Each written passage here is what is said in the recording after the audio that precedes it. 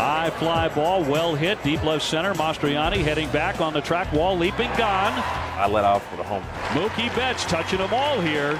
And then after that, he was like change up, slider, curveball, slider, change up, change up, slider. Change the game right away from the very beginning. Yeah. And they know you ought to put it. The same thing that we talked about the other day. Yeah. You know what I'm saying? Once they once you do that from the beginning, now you gotta have your mindset. Okay, this guy gonna be more careful. He might gonna go this way. He might gonna try to flee. The same thing he did Yeah. afterwards. You know what I'm saying? Yeah. So, like I told you, you gotta give something To get something. to get something. Yeah. You already did some damage, right? You know, he throw you the fastball, trying to get in on you, pow, one nothing. So I give the fastball up.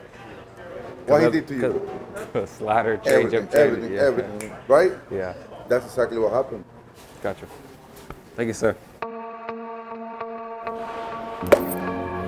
I thought yesterday I threw you that same pitch that you hit out in BP. Probably. I didn't hit it out in BP though. You didn't throw me those sliders though. I, can, I cannot help you with that. I did hit a home run yesterday, but that was cool. But it wasn't like the part of the day that, that I learned. And, uh, I learned, you know, my second and third at bat, you know, what they do after.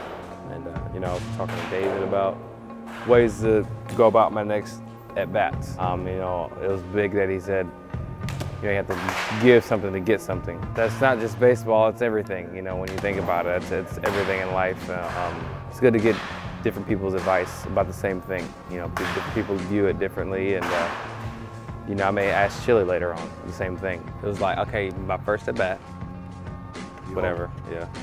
And then after that, I knew they were gonna throw some off-speed pitches, but I didn't like trust it. Well, one thing, you're thinking too much. React to the ball, see it, and hit it. Remember this, they're afraid of you, you're not afraid of them. But I'm saying if I know that, well, I got a hunch he's gonna flip a whole bunch of Have stuff. you seen up. his breaking ball before? So I might take that first pitch. Look, at, I'm looking for a heater, but if he throws that breaking ball and whoop, and it humps up and lands in that glove and falls in that glove, and I'm gonna rewind it. That's where it started. It starts up there again. I know it's a strike. I'm firing. It's got to start out over the plate and up. That makes Bang. sense. You know what that I mean? makes more sense. Basically. It makes sense because you're talking to two intelligent guys that have played the game. You know, for me not to use them as resources would, would be very smart. You know, they've been here and they, they know it, they've seen it all, and I'm definitely going to use them for, for uh, any information I can get.